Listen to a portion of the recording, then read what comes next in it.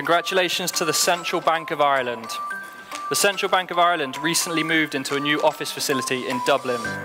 A key objective was to ensure that the building met universal design principles and was accessible for all. Hundreds of accessibility measures were addressed, and an access officer is continually improving accessibility with trainings of personnel and additional innovations.